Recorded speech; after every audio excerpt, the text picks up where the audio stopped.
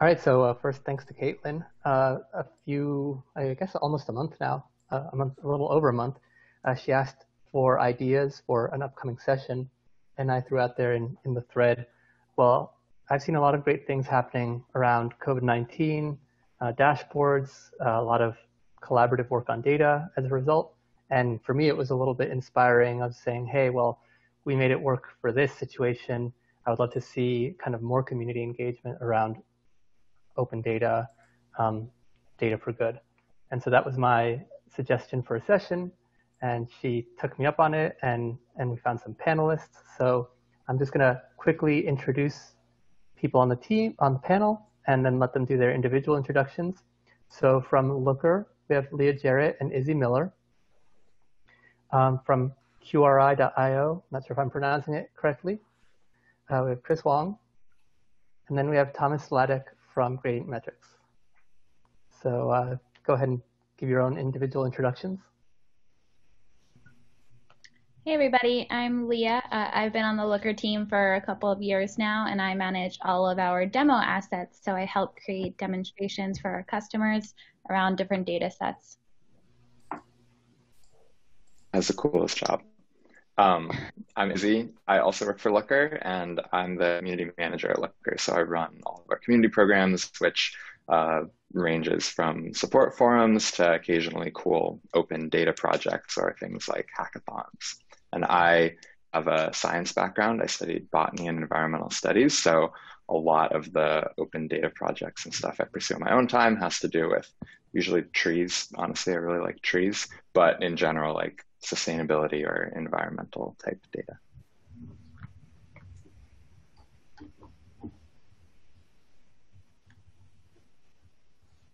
I thought there was one more person uh, oh. ahead of me, but I'll go. Uh, so I'm Tom Vladeck. Uh, I run a market research firm called Gradient Metrics, uh, which does sort of market research and then Michael Kaminsky, who is in my top right corner, um, probably different for everybody else. Uh, and I work together on a next generation media mix model called Recast. Um, so those are the two hats I wear. But then on, on this panel, I'll probably be talking mostly about my work on uh, a COVID dashboard called RT.live, um, which is, I think, how I got involved on this panel.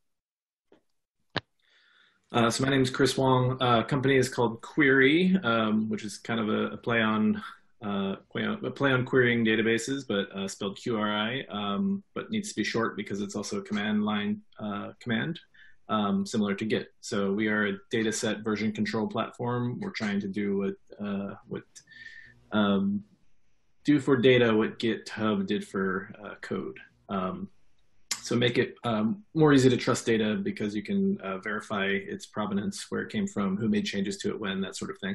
Um, but um, on this panel, I will, uh, yeah, I'm working on a, a couple of data set projects for Qri right now. I'm, I'm called an outreach engineer. Uh, I do everything from front-end web development uh, to product management to uh, data set um, data set creation and sort of testing, kicking the tires on our platform. Um, so I have been doing some interesting open data projects. Um, the things that interest me are mostly urban planning related. I have a background in urban planning. Um, before I worked at Qri, I ran a digital services team at the New York City Department of City Planning. Um, so lots of sort of land use and open space and uh, transportation and all these sorts of, of urban issues uh, interest me very greatly. So. And uh, I'll wrap it up. I guess I didn't introduce myself too much. I'm probably the least qualified person uh, to be kind of on this panel, which is good that I'm asking the questions more than answering them. Um, so I'm Fabio. I'm from Looker as well on the customer success engineering team. So helping our customers, um, you know, be successful with their whole end-to-end Looker deployment, including their data warehouse and their whole analytics stack. Um, and the reason for me personally why I was um, kind of drawn to this idea of collaborating on open data sets for good. I'm really interested in uh, environmental data sets, things like air quality and um, toxic, uh, toxic site data and things like that. So uh, I'll jump into our questions. And um, so with the format, I, I believe I'm just going to throw the questions out there. Um, whoever wants to take a question can. Not every panelist needs to answer every question. Um, but for me, the first thing is like, I probably have a lot of different ideas on what would make good starts or good bases for projects. But I think, you know, probably one of the harder things is like picking one to get started with and to, you know, shift from ideation to doing. And so um, for you, when you're brainstorming or trying to evaluate ideas, um, what do you look for um, to say, yeah, this is an idea that I want to take to the next level? What makes a good open data project?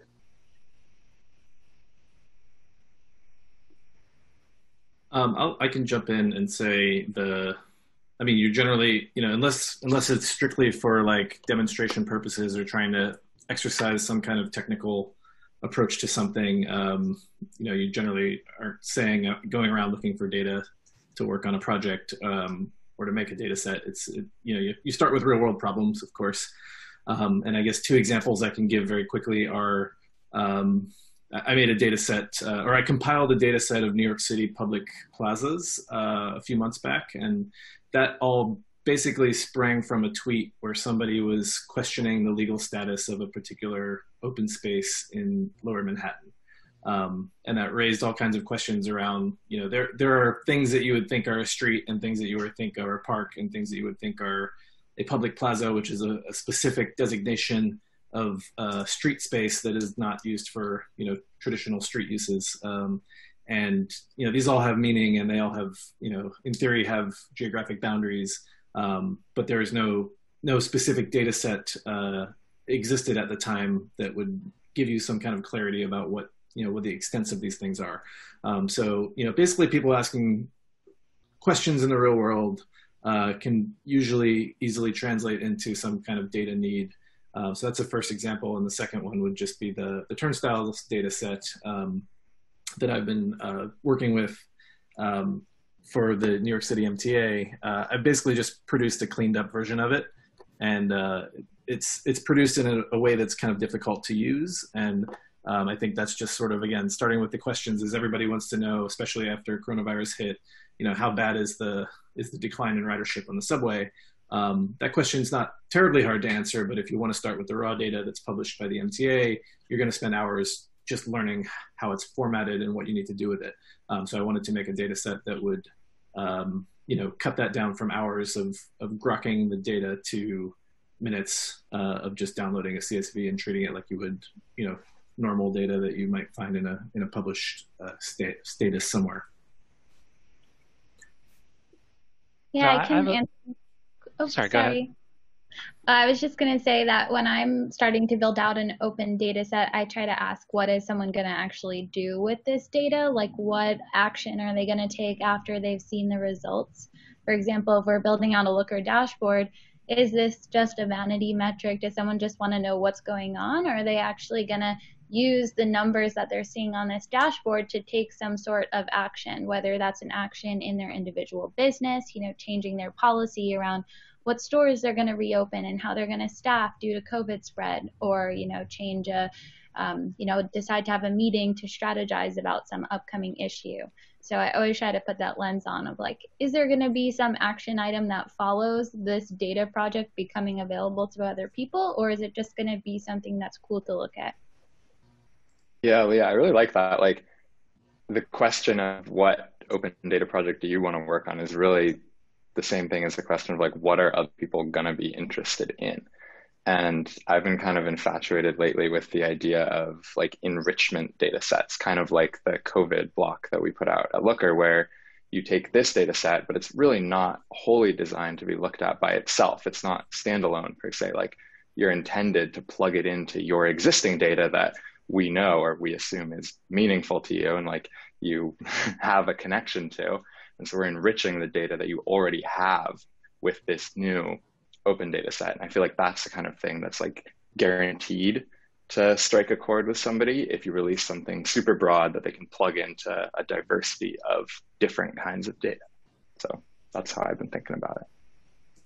I think it depends a little bit on how much um, work will be required in the long run to make it uh, make it something that you would consider successful because I, I was actually going to say something totally different, which is I think what you should work on is what you're most like intrinsically motivated to do, like what you find really, really interesting, um, which may be trees or maybe parks or maybe something totally different.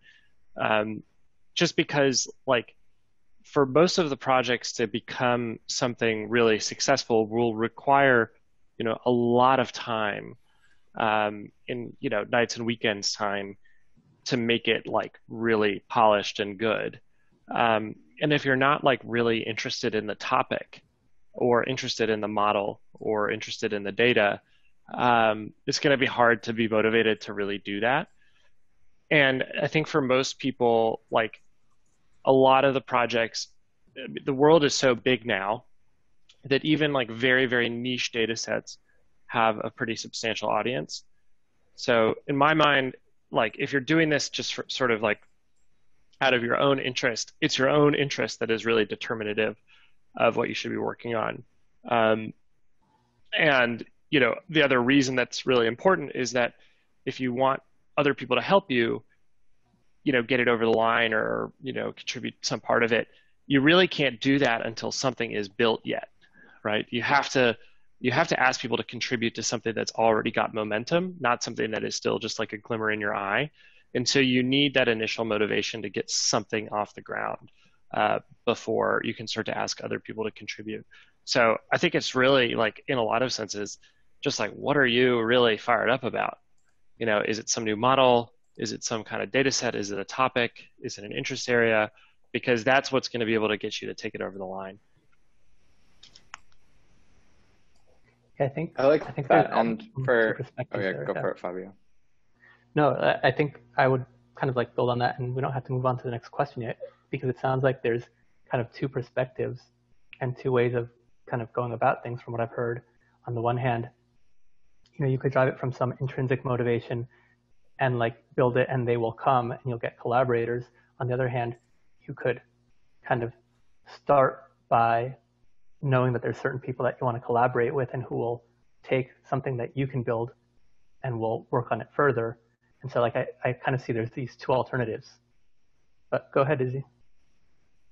Well, I was gonna say I actually my most recent open data interaction was the exact opposite of what I said and exactly what Thomas said, where I discovered uh, a tree data set, exploretrees.sg, which is a really tiny little map of Singapore, like just Singapore, that had this incredible visualization of all the trees planted there and various information about them that I guess was available in a table somewhere, but had never been visualized like that.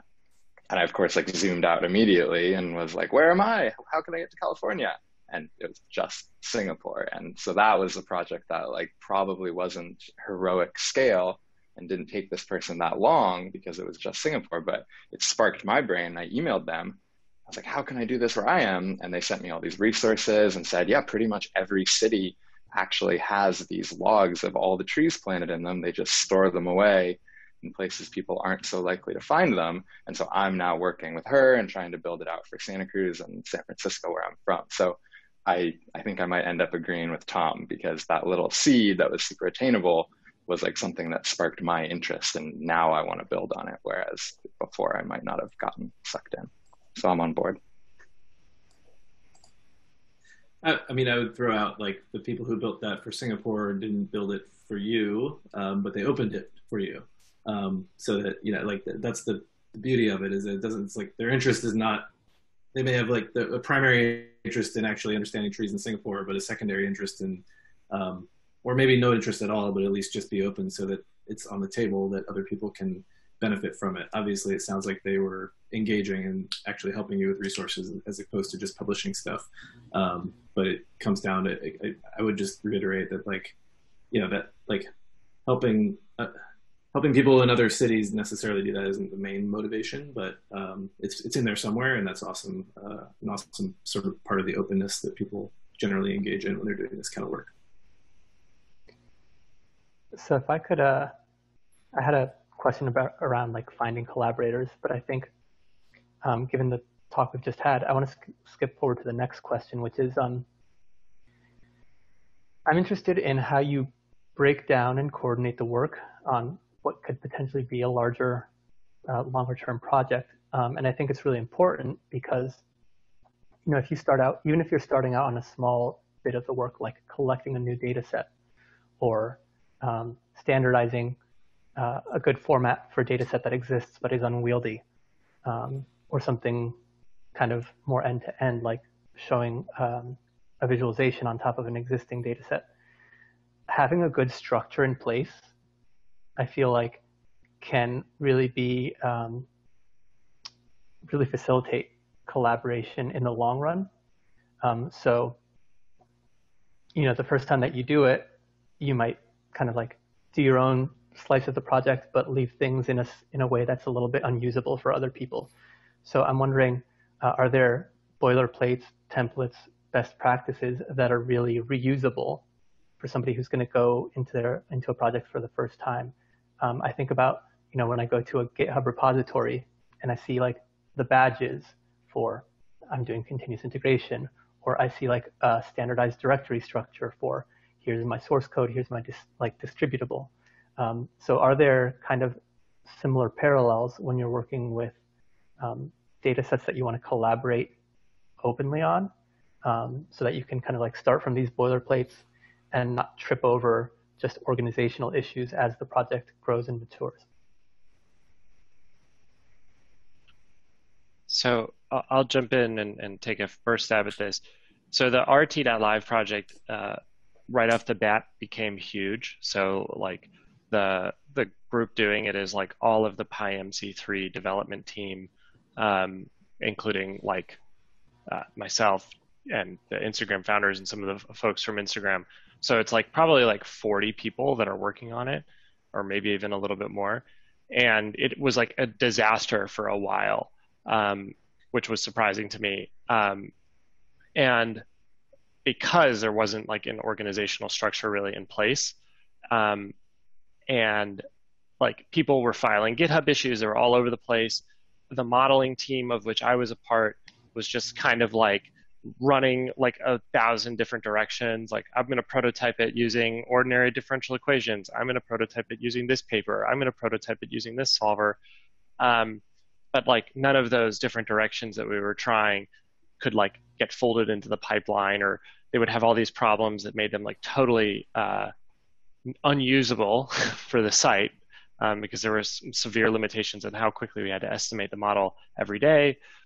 So I think that like on the one hand, the organization of the project is is almost like if it's that big, it needs to be run very similarly to like a company. There needs to be people that own specific areas, whether that's the data cleaning, whether that's the pipeline, whether that's the model. Um, and there needs to be issues written up that people can like pull down and, and address.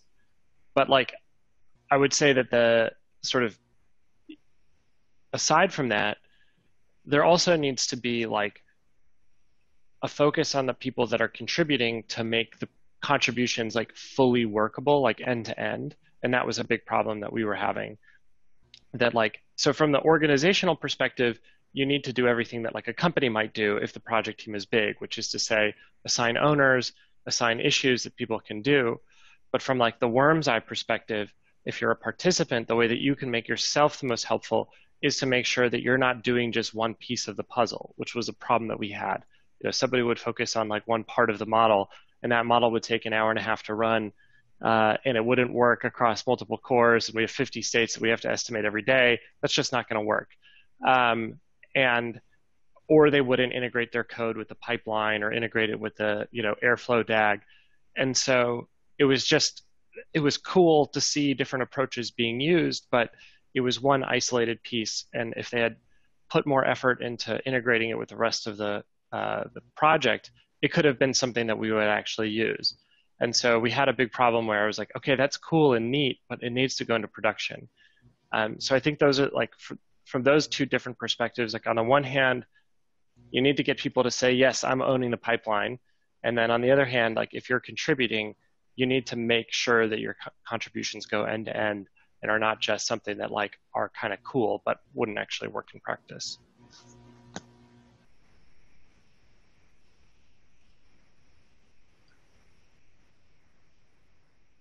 So I would I'd jump in uh, on and say you know I actually had uh, for the again the, the New York City subways turnstile data set which I was referring to earlier.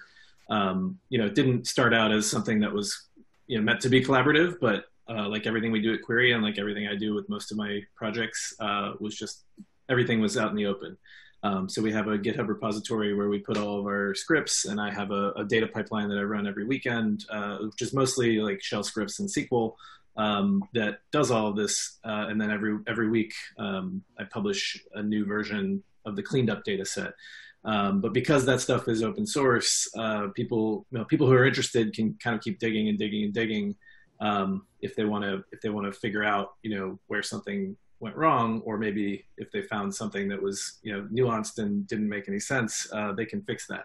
So while I'm I'm really interested in like making this pipeline exist, I'm not particularly interested in any one subway station.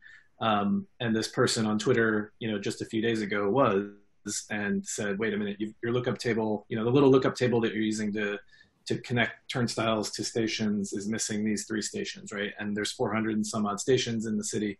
Um, so the level, like the amount of time it would have taken for me to QA every single one of these is not not reasonable.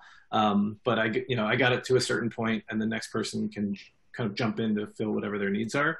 Um, so it wasn't really coordinating for work. It's just kind of being open and saying, you know, if anyone wants to help, like it's there.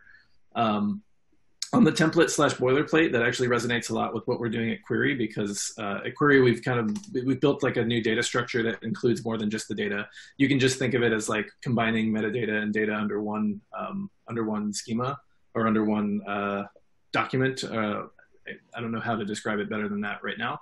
Um, but basically, uh, you know, in that is also a README. So the things you would expect to find in a GitHub repository, you can now find in, in a data set as we define it, uh, which includes a README, metadata, structure information, and the actual data itself. Uh, and they all kind of live together and get and get versioned together. Um, one thing that that people have come up with, or you know, one idea that we floated, which has been really interesting, is the idea of coming up with like a uh, you can actually make a schema for a data set that is like a wish list that says, I wish, I wish this table existed and I wish its columns looked like this and had, you know, Booleans and text and whatever, um, and not actually have the data. But if you publish that on Qri or publish, just publish it in general, um, you know, it still becomes a discoverable thing. Uh, the data is not there, but there's somebody out there who's made a README that says, I wish I had this and actually started planning out the schema of that data set. Um, and you know if maybe somebody will stumble along uh, later on and find it and say i know how to fill that schema. Um, so that's uh, that's that's kind of something we're interesting that we're doing on uh, a template for a data set at Qri. Wait chris so Qri i i haven't heard of it before. It's kind of like git for data like you can version the schemas and commit and branch and mess around with it and then pull from master Exactly. Um, so they, we're trying wow. to solve the sort of chaos of uh, of files that you know you're going to inevitably deal with when you deal with data, um, and just downloading you know downloading the same data set uh, one week apart might get you completely different data. Um, so we have the ability to diff uh, structured data. We have the ability to um, uh, you know basically publish. Uh, we, I guess I would describe it as we want to make it just as easy to publish as it is to consume. Right now, anybody can download CSVs, but putting them back up if you make changes to them is a very difficult task, uh, and we want to make that as easy as it is to push to Git, which is still still hard, but like not that hard. That's awesome. That feels really useful. Um, so the next question I have, again, we might have different um, experiences on this based on, you know, coming at it from working within a company, working on it as a personal project. Um, you know, I've done some kind of like personal projects where I've put my credit card on GCP and like prayed that nothing goes wrong and, and try to set some control. But the, the question comes down to uh, data sets can either scale up really big in terms of amount of data that you're working with or you know, if something becomes popular in, in terms of usage. So when those become large, obviously cost can become a factor.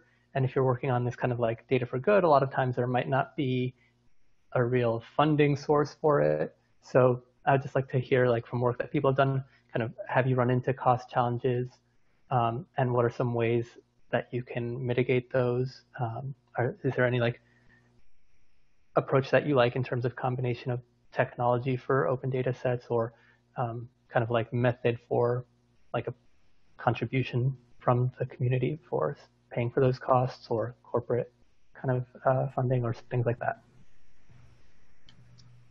Um, I know I ran into this issue a lot with developing the COVID data um, and other data sets as well. Obviously, the volumes get really big very quickly.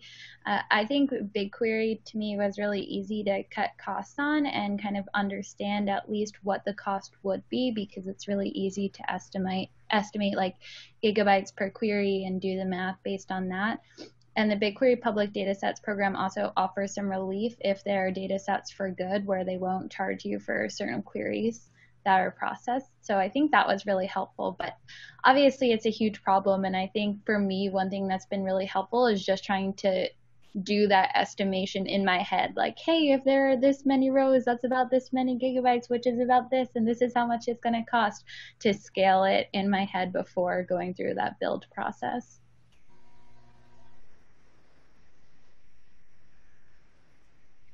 It's interesting to me that like it's there are free tiers on BigQuery and stuff like that where you don't pay up to a certain point, but after a certain point you can start racking up costs pretty quick. But if you move away from SQL, there are things like Colab, or I think there I'm forgetting the name of it, but there are other things that give you pretty high-powered instances that you can run Python on and analyze data like for free perpetually.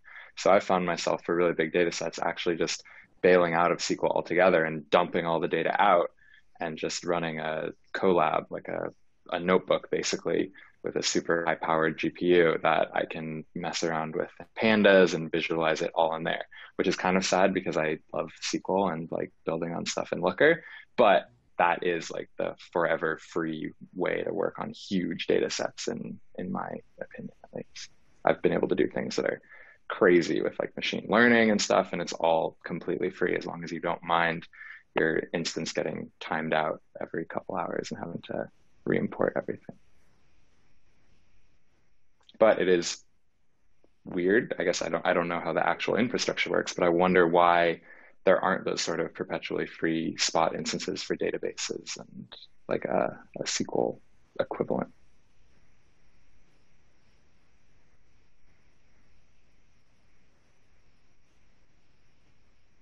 Um, I'll go ahead and answer my own question. Like uh, when I was putting things up that were publicly accessible, that would be like billed by usage.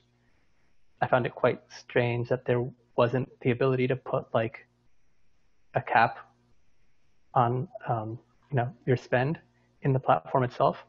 I did find like kind of hacky solutions to like, oh, set up this cloud function that triggers based on your spend and will shut things down for you, um, which kind of worked for me to feel okay about it. But like one thing that would be super cool is if there would be some kind of model that you know could be developed that um, on a publicly facing uh, portal that has this information that uh, it actually just shows like consumption costs and allows people to kind of like fund the the usage of the portal. But um, I guess hopefully nobody's been in that dire situation where they've had to like shut down a, a, thing that they've done for good just because like so many people are using it that that it becomes a burden to to maintain.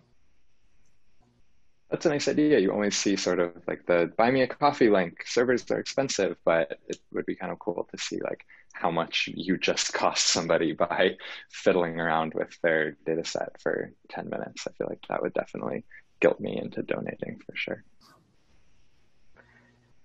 Um, so the next question I have is also kind of um, probably a factor that doesn't come up so often, but I think is good to have in mind um, when we talk about you know open source software. There's a lot of thought given to licensing um, and I feel like when I see open data sets that I have access to, typically the licensing information is usually less upfront or there's not licensing and you have to reach out to people. Um, kind of what has your experience been in working on projects around the licensing of open data? Um, is there something that you see really often, or do you really see that you have to kind of reinvent the wheel every time and like reach out to people and, and get approval and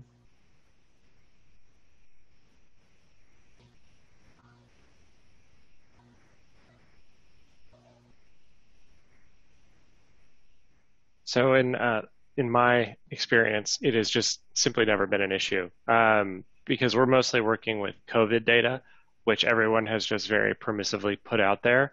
Um, and the states are sort of publishing it for free and uh, pretty much every reporting geography has been like here please take this and do something with it um, so it's just not not something and luckily in the covid world everybody's just been like please go take this data do something with it tell us what's going on uh, so it just hasn't ever come up honestly i never even thought about it um, about there could possibly be a licensing issue or we're stepping on somebody's toes. So that's just never come up um, in my experience.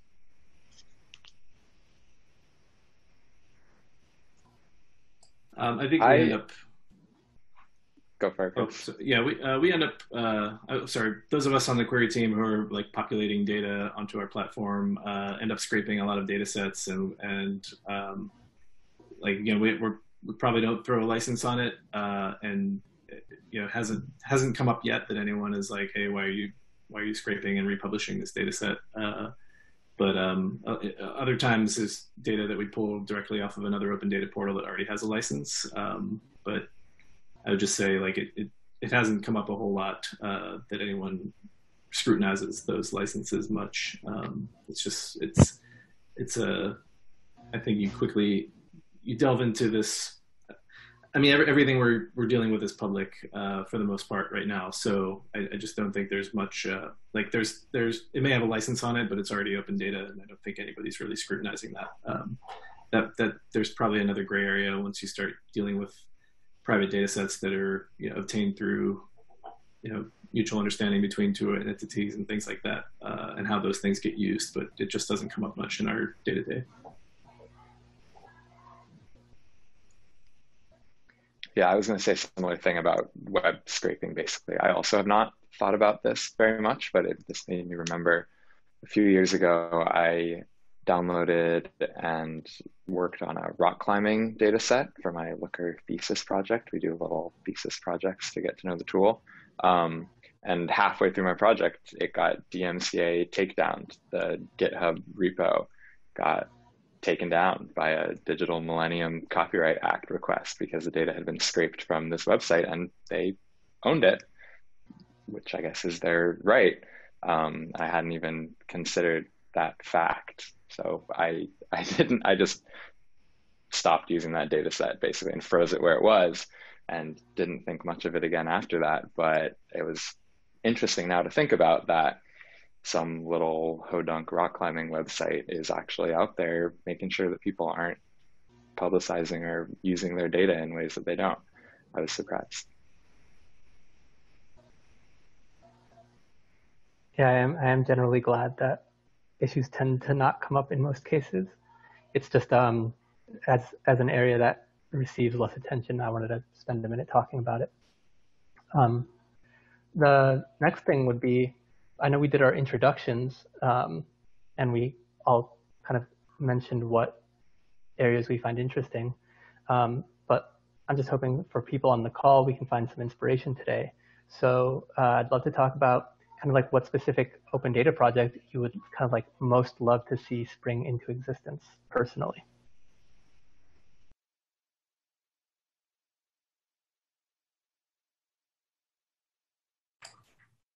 Uh, I, I, mean, I've got a pet project that I've been working on for probably 10 years, uh, on and off, you know, every time I get a couple weekends. Uh, and it, it, just boils down to, to good budget data for a city of New York, but I guess that can be extended to budget data everywhere.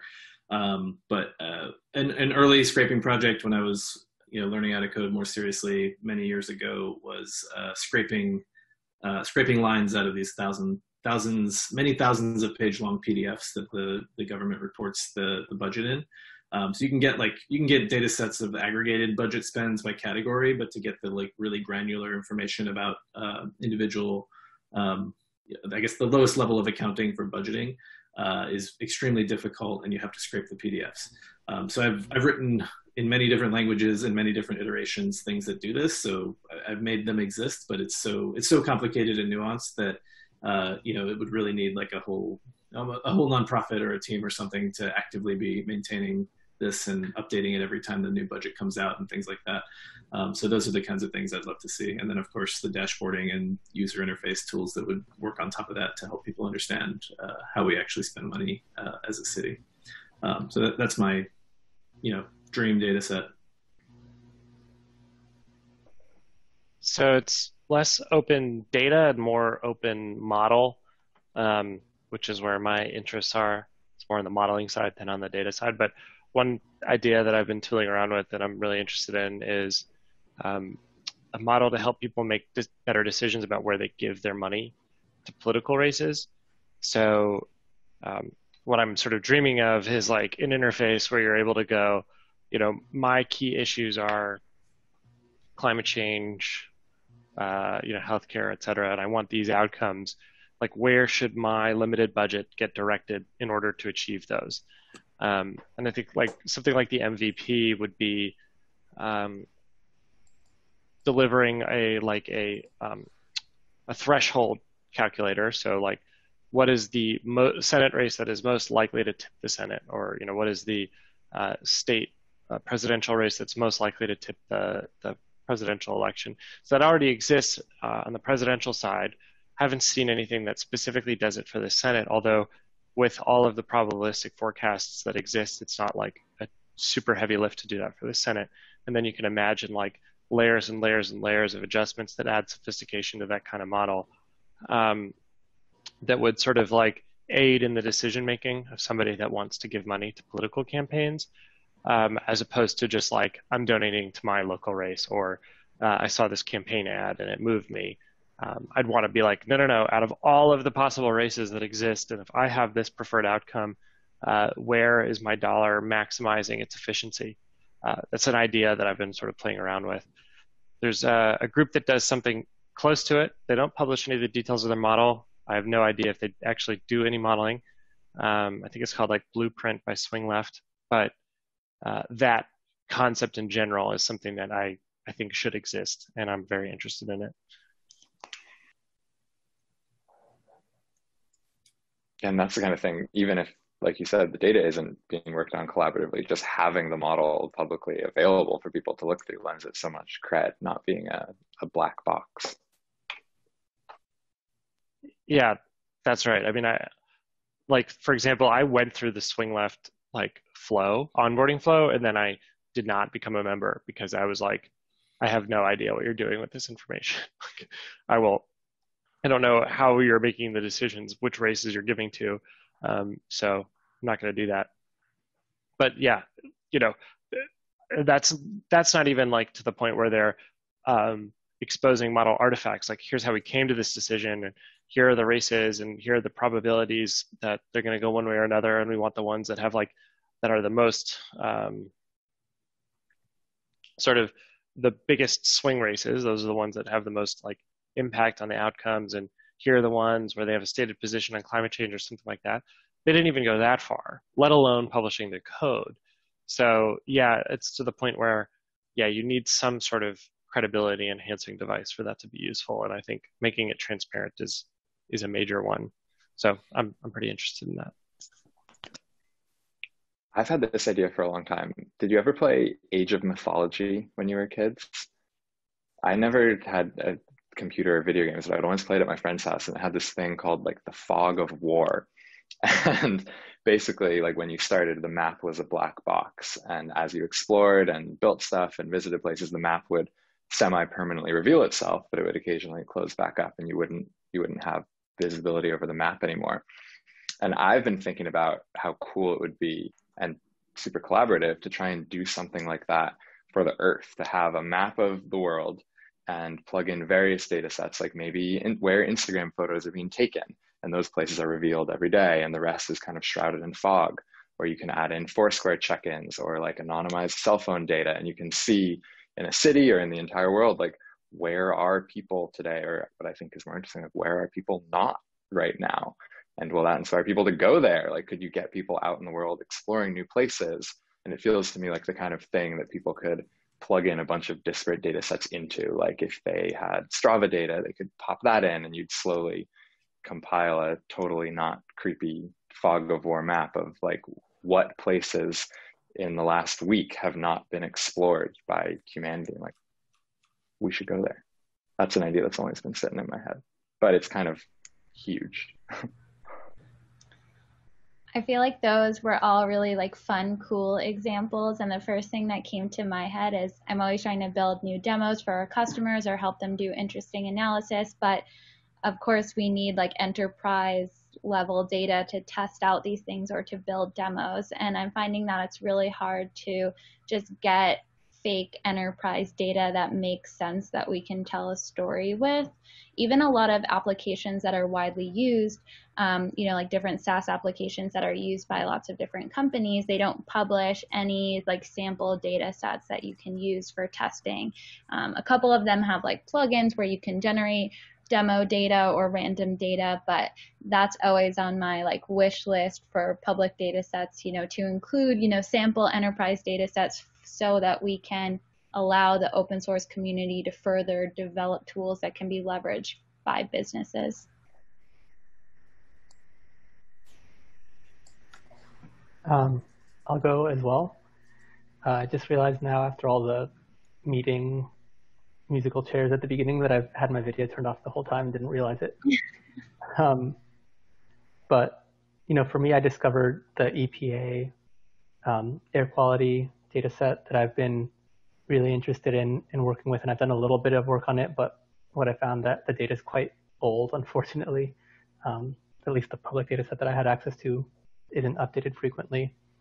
Um, and also pulling together data sets from like Superfund sites and toxic sites to make like a really personally actionable kind of um, data set for um, people to individually help inform uh, themselves. Um, I've been, I currently live in North Carolina and found like a good kind of state level data set that's even more um, detailed than like the Superfund list. So I've been looking around in that um, and kind of like use it for myself, but I would love to do a project around that. Yeah, I've been, I was thinking earlier about the live data, like the freshness of the data thing too. And Tom, I, I loved that your URL is rt.live. Like, yes, this is up to date data that you can use to think about tomorrow or next week. And I've found that even just the questions that people ask when they're using a data set that's fresh are different than the questions they ask if they're using a data set from years ago. Like you're no longer saying, hmm, what interesting things can we pull out from this data set? Like who has the most points or something? If it's live, you can and are more likely to ask questions like, what's going to happen tomorrow? Or like, can we do a regression and extrapolate this? Like people start thinking about how to use the data more actionably. I wish there were more live data sets out there. And one that I found, because I was just looking around for live data sets to do something with, and I wish I, I wish people were doing more with it, is this global database of um, events, language, and tone. I don't know what it is. It's called GDELT. And it's this huge data set that just every single day takes the pulse of like all of the news media in the world and doesn't return the article content, but returns a huge amount of metadata about like every piece of news being published and it's updated every single day. And that feels like like what I was talking about earlier with enrichment data sets that you can plug into another data set or use as like another dimension to confirm uh, an assumption or like add another layer to the data. That feels like this incredible resource. Like I think it has sentiment, so you can get a general pulse for the sentiment of the day in the news. It's this massive live data set that like describes the world and I really haven't seen that many projects done on it, which made me kind of sad. So I'd like to see something pop up using GDELT, but it is also it's enormous, so maybe that's why people are shy of it. And I so, think it's a BigQuery public data set also. So um, first thing I want to say before kind of like opening it up for Q&A is I've been kind of like silently watching the chat feed and there's so many resources in there and so many links. I'm definitely going to go after the um, after the Zoom and like just pour over all of these. I'm super excited to do that. Um, but since we have nine minutes left, uh, I'm done with the questions that I prepared, and I bet there's a bunch of questions from attendees.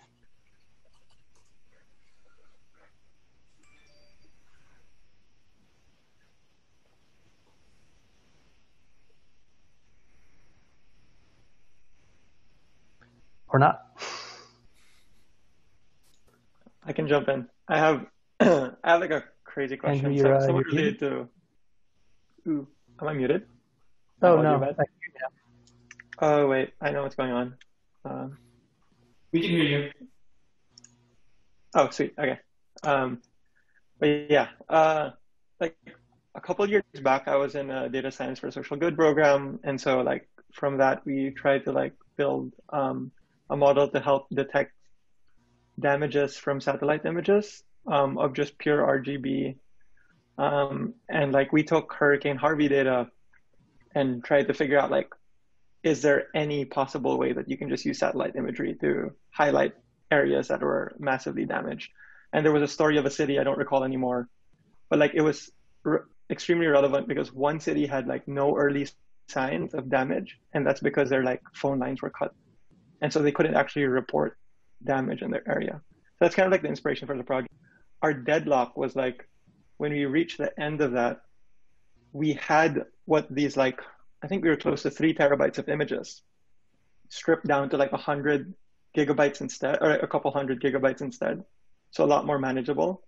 And we got to like retile them, so it's like easier for people to use. We got to like pour over bounding boxes because like the damage was just a point. And so what we did was we had to contact, and like it goes back to when you guys asked, um, do you like ask permission when you get like a new data set, and like how do you share? So we got them from the county's offices and had to ask the counties if it was fine that we share these like um, parcel boxes um, or parcel land maps. Um, eventually, like we got manual approval of like just saying in an email, yeah, sure, feel free to share it. But when we got to the end, there was no way for us to share the compressed images for free. Has anyone like found solutions? I know like you can kind of host an S3 bucket, so we kind of we did that route, where we hosted the images in S3 bucket.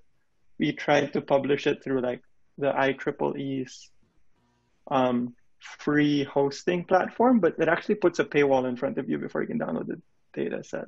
You have to buy like IEEE credits. So I'm just curious if anyone's reached like that scale where it's like hundreds of gigabytes need to be shared out or seen projects that you guys have stumbled upon in the past.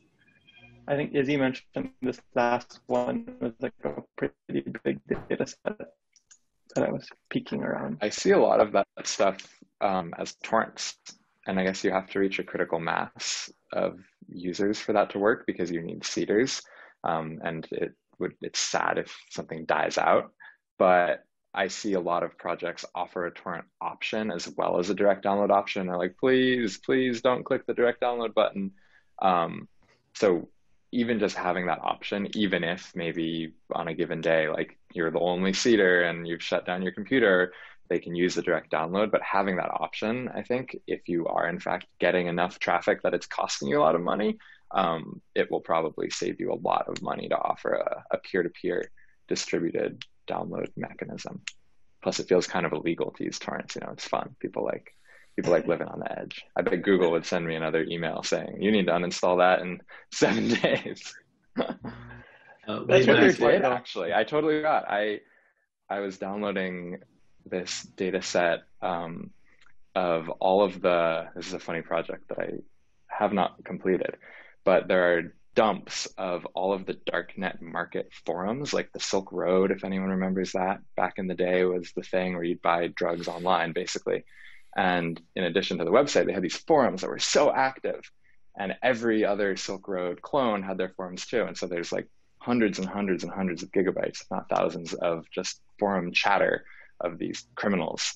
Um, and I thought it would be really fun to take a huge dump of that and take a dump of nextdoor.com data, which I think of as like the neighborhood watch. Like they're the they're the cops of the neighborhood. They're the they're the squares, as it were, and just see what the difference is. Like who's more friendly or who has tighter bonds. Like I I do community management, and so I often am looking at community data and seeing like how tightly knit are the communities or where are these outlier groups or how many people are not connected to anyone else in the community like visualizing it kind of like a like a force directed graph or a network map community. And i really wanted to look at network maps of these two very different in philosophy communities. And it was available as a torrent and i started downloading it and i got an email from our security team saying hey knock it off delete that immediately. And i was like it's kind of for work sort of.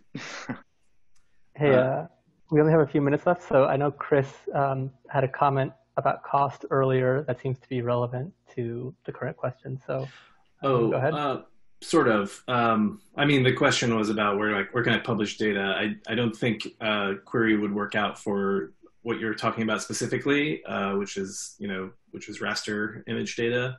Um, it might, but uh, but basically the yeah Qri is built on top of IPFS uh, specifically for that purpose that um, we have we have Qri Cloud, which is sort of the analog to GitHub, where you can publish stuff. But if your stuff gets so huge, um, the format works without the cloud part, and you can you can run your own uh, run your own instance anywhere you can, uh, and just fill it up. Then you're limited only by the size of your hard drive. Um, but I wanted to say that the the story about torrenting reminds me of way back in 2014. I I received for the first well not for the first time, but I shared for the first time the uh, taxi trip sheet data for New York City, which I obtained via FOIL request, and I actually had to drop off a hard drive and pick it up. So it was about 50 gigs of data. Uh, and I asked that same question to the internet: What can I do with? I, like, I want to share this, but I don't know where to put it. Uh, and somebody was like, "Put it on torrent," and I made a torrent of it. Uh, and then in very short order, somebody else came along and just offered to host it uh, as a direct download because so many people wanted it, uh, which was way outside of my my. You know, I didn't have the resources to do it, but but I guess I would just reiterate by by being open uh, and basically broadcasting your need. Uh, you never know who might come along and decide to help you. So I'll leave it with that.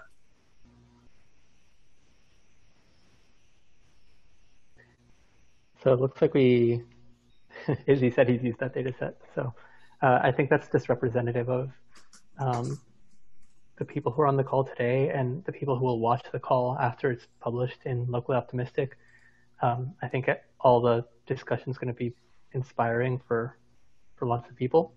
So I, I, think we did a good job here. And thank you, Caitlin, for helping to get it kicked off.